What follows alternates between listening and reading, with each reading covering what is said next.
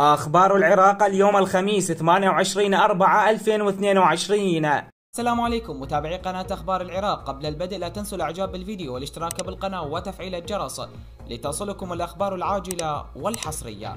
لن تتكرر. علي الشريفي يعتذر بخصوص ظهوره مع فتيات ويطلب السماح.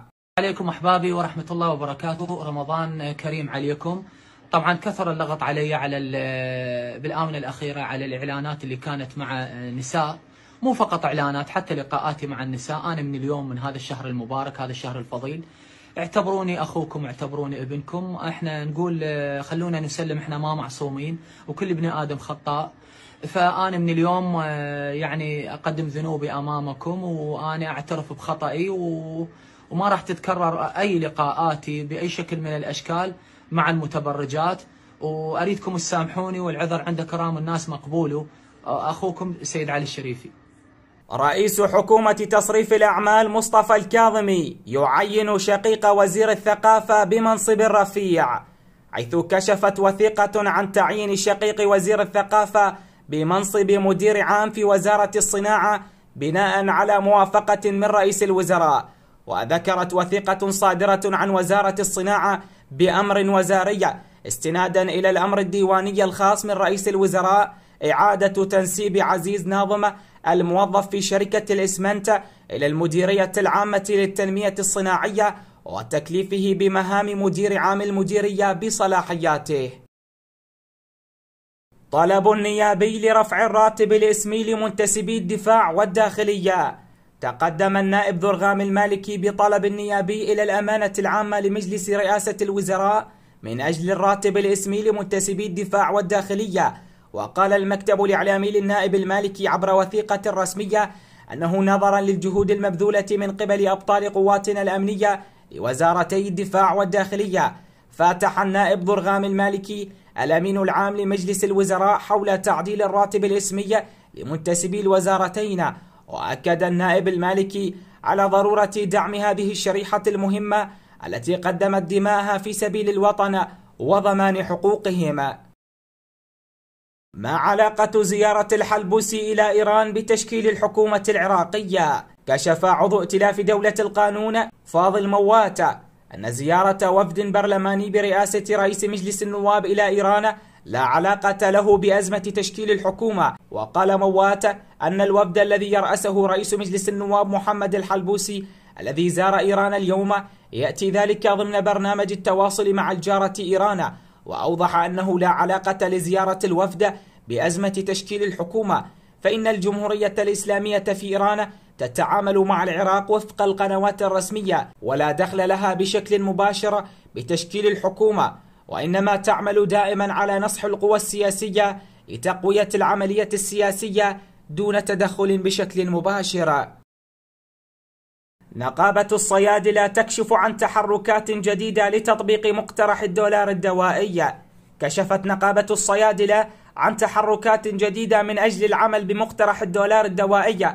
وقال نقيب الصيادلة مصطفى الهيتي إن مقترح الدولار الدوائي قدم إلى رئيس الوزراء في منتصف كانون الثاني من العام الماضي ولم يصل إلى النقابة أي رد حول هذا الموضوع وأضاف أن هذا المقترح لم يعرض على مجلس النواب كونه مقدم إلى الحكومة حيث أن كل مشروع أو مقترح فيه جنبة مالية تقدمه الحكومة إلى البرلمان وليس العكس.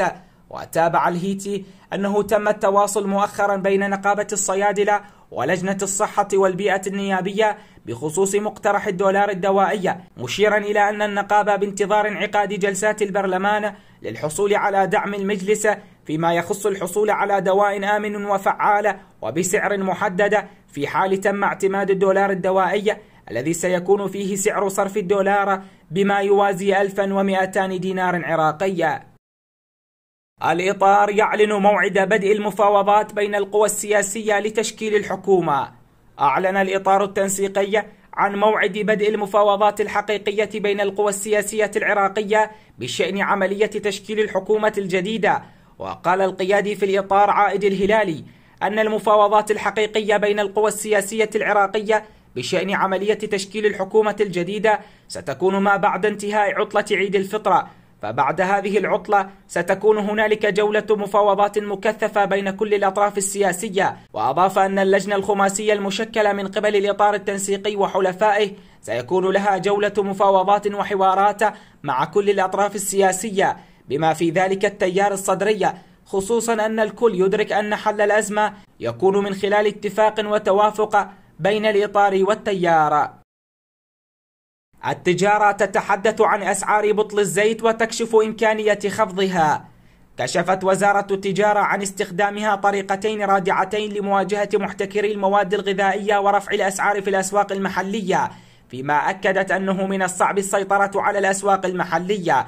وقال المتحدث باسم الوزارة محمد حنون في تصريح للوكالة الرسمية إن الوزارة اتخذت إجراءات رادعة من قبل عملياتها وبالتعاون مع جهاز الأمن الوطني خلال الأزمة واستخدمت طريقتين الأولى الوعي الجماهيري وحث رجال الأعمال والتجار بعرض منتجاتهم بشكل سلس وشفاف والأخرى الطريق القانوني والإداري والهدف منها منع الاحتكار وأضاف أن المواطن كان له دور كبير في مواجهة الأزمة من خلال التعاون والوعي والإبلاغ عن المخالفات التي تحدث والذين يستغلون الأزمة من خلال الاحتكار. مبينا أن الأجهزة الأمنية والرقابية في وزارة التجارة نجحت في وضع اليد على أربعون تاجرا عمل على استغلال الأزمة ورفع الأسعار. وحول أسعار الزيت علق حنون أن أسعار الزيت مختصة بالبورصة العالمية وأزمة الصراع الروسي الأوكراني. لكن الإجراءات التي اتبعتها وزارة التجارة من خلال شركة مستثمرة في قطاع السلة الغذائية ساعدت بتوفير هذه المادة لشريحة كبيرة من المواطنين عبر البطاقة التموينية وأضاف أنه من الصعب جدا السيطرة على أسعار السوق المحلية مبينا أن السوق العراقية سوقا مفتوحة والتوجهات الحكومية والقوانين هو فتح الأسواق وعدم التدخل. اقتصادي يحذر من قانون الأمن الغذائي. باب من أبواب الفساد والسرقة. حذر الخبير الاقتصادي عبد الحسن الشمري من تشريع قانون الأمن الغذائي المقدم من قبل حكومة تصريف الأعمال الحالية. وقال الشمري إن قانون الأمن الغذائي باب من أبواب الفساد والسرقة ولهذا أنه من الأفضل عدم إقرار هذا القانون. وتوزيع المبالغ المخصصة له كرواتب أو وضعها بصندوق يخصص للأجيال ودعا إلى التريث في تشريع هكذا قوانين تكون بابا من أبواب الفساد والسرقة. أمطار وسيول في محافظة أربيل.